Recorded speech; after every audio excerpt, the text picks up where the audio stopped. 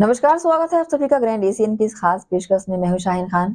हमारे स्टूडियो में आज एक ऐसी शख्सियत से हम आपको रूबरू करा रहे हैं कि जो किसी परिचय की मोहताज नहीं है। वो इस तरह की है तो ये भिलाई दुर्ग की बेटी, लेकिन अभी चिकित्सा के क्षेत्र में अपनी सेवाएँ महाराष्ट्र के जलगांव में दे रही है। जी हाँ मैं आप सभी को मिलाना चाहूँगी डॉक्टर राजकुमारी सुरेश जैन से, जो कि नेत्र रोग विशेषज्ञ हैं।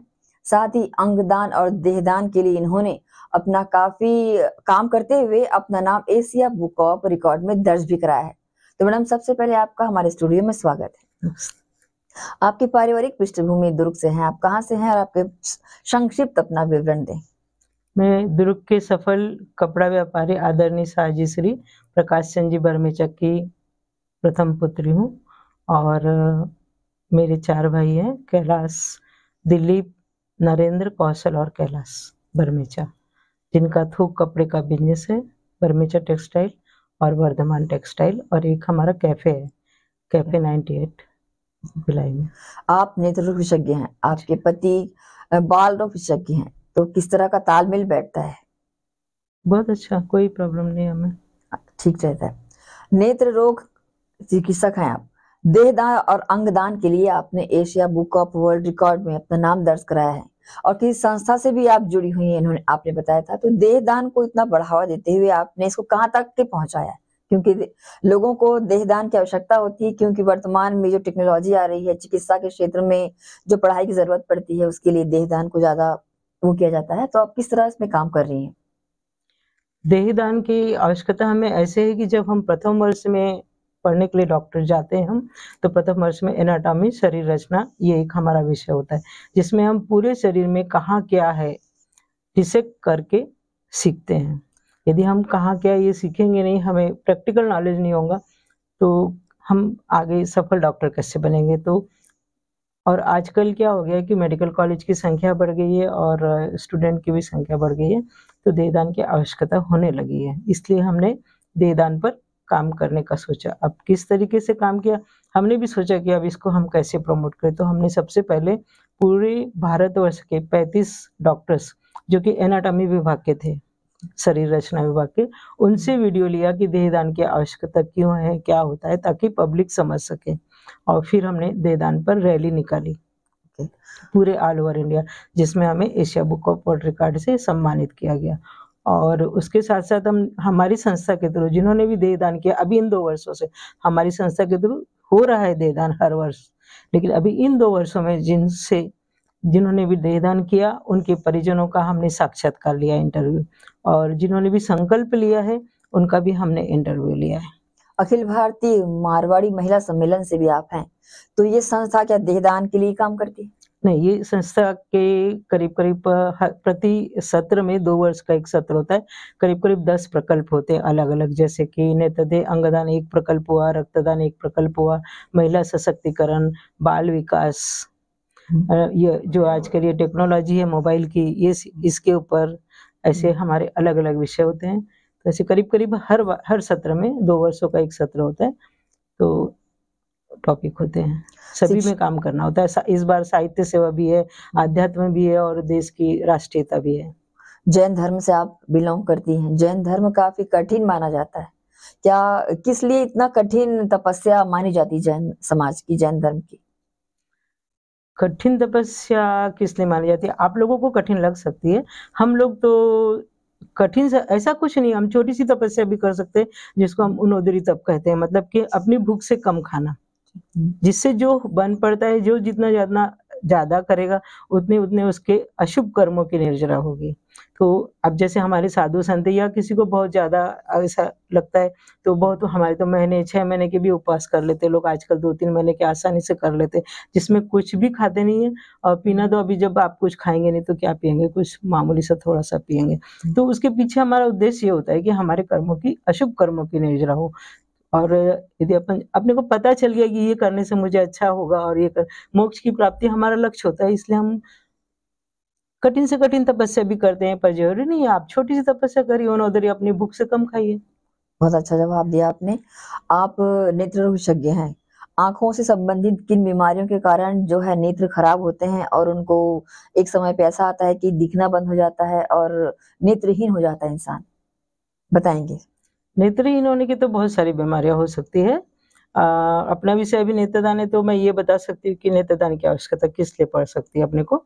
तो देखिए एक तो बचपन से ही बच्चा जो पैदा होता है तो उसकी कॉर्निया जो आँख में ये काली काली जो दिखाई देती है ट्रांसपेरेंट तो वहाँ पर किसी भी प्रकार की सफेदी आ जाए तो भी उसकी आँख उसको दिखेगा नहीं क्योंकि जो भी लाइट ऑफ़ रेज जाती है वो कॉर्निया से होकर के लेंस में जाती है और लेंस से रेटिना में जाती है। पूरा जो होता है वो ट्रांसपेरेंट होता है पारदर्शी होता है। इस मार्ग में कहीं पर भी यदि अपना पारदर्शिता अपारदर्शिता में बदल गई तो अपने को दिखाई नहीं देगा। तो यदि कार्निया में हुआ तो कार्निया लेंस में हुआ। लेंस में तो अब कैटरेक्ट बोलते हैं अपन तो लेंस कैटरेक्ट निकाल के लेंस लगा देते हैं। तो इस तरीके से अब कार्निया में एक तो जन्मजात हो सकता है दूसरा कोई भी प्रकार की केमिकल इंजरी हो सकती है आँखों में समझो। चूना चला गया खेत में काम करते करते फर्टिलाइज़र चला गया कोई प्रकार का एसिड एल्कली चला गया हम्म। तो आँखों में उसका असर पड़ सकता है। उसी समय खूब सारे पानी से अपने को आँख धो लेनी चाहिए और शीघ्र आँखों के डॉक्टर के पास चला जाना चाहिए। आँखों में खेत में काम करते करते काड़ी वगैरह लग जाती है मट्टी चले जाती है उससे भी फंगल इन्फेक्शन वगैरह हो जाते हैं। बच्चे छोटे जो खेलते हैं धनुष पान वगैरह वो अगर लग गया तो अपने आँखों की कार्निया पे या पूरी आँख में भी उसका इफ़ेक्ट हो सकता है। उसी तरीके से गिल्ली डंडा खेलते हैं क्रिकेट खेलते हैं इससे भी पूरी आँख में भी या फिर कार्निया में भी इफ़ेक्ट हो सकता है। मोबाइल के जो रेज होते हैं वो कितना आँखों को इफ़ेक्ट करती है? बहुत ज़्यादा इफ़ेक्ट करती है बच्चों को मोबाइल तो देना ही नहीं चाहिए उसके। बहुत साइड इफ़ेक्ट दिख रहे हैं देना ही नहीं चाहिए। और फिर हम पुनः आते हैं देहदान और अंगदान की तरफ़। आपने अभी तक लोगों को अवेयर करते हुए कितने लोगों का देहदान करवाया है? आ, हर दो सत्र में करीब करीब हमारे दस दस देहदान हुए। अभी इस सत्र में हमारे अभी अठारह देहदान हो चुके हैं। उसमें से दस महाराष्ट्र से हैं और बाकी ऑल ओवर इंडिया से हैं। छत्तीसगढ़ में भी एक संस्था काफ़ी सक्रिय है। छत्तीसगढ़ से भी एक हुआ है दुर्ग से ही रेखचंद जी हम्म। अग्रवाल का देहदान अब अपने परिवार में आपका किसी का करवाया आपने? या खुद का या नहीं? अभी तो मतलब हम नहीं वसीयत करते हैं ना जैसे वसीयत तो हमारी समझ लीजिए आप। है। हम्म। एक पर्सनल सवाल का जानना चाहूँगी। आप शहर के प्रतिष्ठित कहला जाने वाले कैलाश बर्मेजा सर की बहन है और वो है फर्टिलाइज़र मोटर जगत से जुड़े हैं कई अन्य कई बिज़नेस उनके हैं। वो क्या इस तरह के प्रयास इस छत्तीसगढ़ में कर रहे हैं कि वो परे हैं उनसे?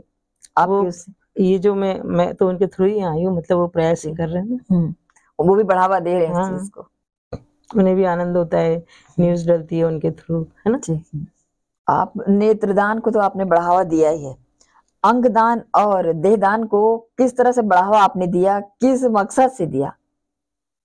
या कब लगा कि देहदान और अंगदान के लोगों को प्रेरित करना चाहिए?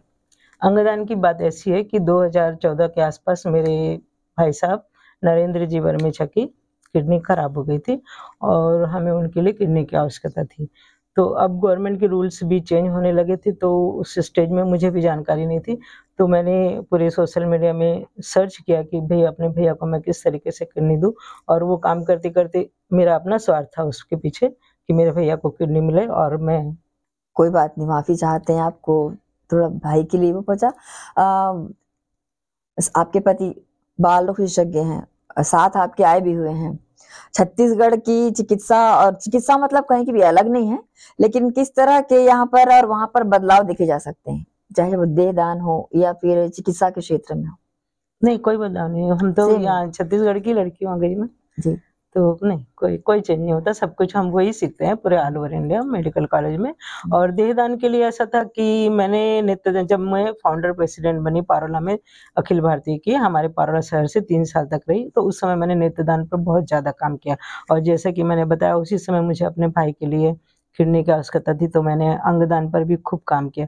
तो हमारे नेत्रदान और पहले नेत्रदान को राष्ट्रीय प्रकल्प का स्थान मिला दो हज़ार सोलह अठारह में और फिर अठारह बीस में दे अंग इनको भी दे नेत्र दे अंग तीनों को राष्ट्रीय प्रकल्प के रूप में स्थान मिला और फिर अभी इस वर्ष 2022-24 में मुझे देहदान राष्ट्रीय रूप में काम दिया गया तो मैंने स्पष्ट इनकार कर दिया था कि ये मेरा विषय नहीं मेरे लिए बिल्कुल मतलब ठीक है मैं डॉक्टर हूँ वैसे मेरा विषय पर मैंने सोचा कि हर मतलब उसके अपने को भी अपडेट करना पड़ता है। तो उन्होंने मुझसे कहा नहीं आपको ये काम करना पड़ेगा। तो हमने सहज स्वीकार किया और हमने बहुत सफलतापूर्वक कार्य किए शायद हमारी संस्था ने जितने काम किए आज तक कहीं से नहीं हुआ है Asia Book of World Record में तो आपका नाम दर्ज ही है आपकी संस्था का। गिनीज बुक के लिए भी आप लोगों का नाम कभी नॉमिनेशन में रहा क्या? हाँ हम लोग सोच रहे हैं अभी हम लोगों ने मतलब विचार नहीं है। हम आराम से जा सकते हैं हमारे काम इतने हो चुके हैं। ग्रैंड एशियन न्यूज़ के माध्यम से छत्तीसगढ़ की जनता को आप क्या कहना चाहेंगी? किस तरह का अवेयर करना चाहेंगी? अंगदान और देहदान को लेकर। तीनों विषय के लिए मैं जनता को जागरूक करना चाहूँगी। मेरा काम भी यही है। देखिए जनता को ज, अपन क्या करते हैं? मर अपने से कोई भी काम हो जो कि सहज हो रहा है जिससे अपना कोई नुकसान नहीं हो रहा और किसी का भला हो रहा है तो हम अवश्य करना चाहिए।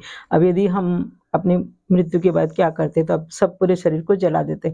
हमारी आँखें जल जाती, क्या हुआ? राग बन गई। लेकिन वही आँख यदि किसी के काम आ गई तो सहज में हम किसी के ऊपर उपकार कर देंगे। किसी के घर में किसी की किडनी, लीवर, हार्ट, लंग खराब हो गया है। और हम, हमारे मरने के बाद यदि वो पेशेंट वेंटिलेटर में, तभी ब्रेन डेड पेशेंट होता है उसी के अंग यूज़ किए जाते हैं। तो यदि हम रिलेटिव के देते हैं एक दूसरे को तो कहीं ना कहीं तो हमें हमारे पास कुछ ना कुछ तकलीफ़ तो रहती है लेकिन मरने के बाद तो क्या करना है अपने को? तो जलाना है ना?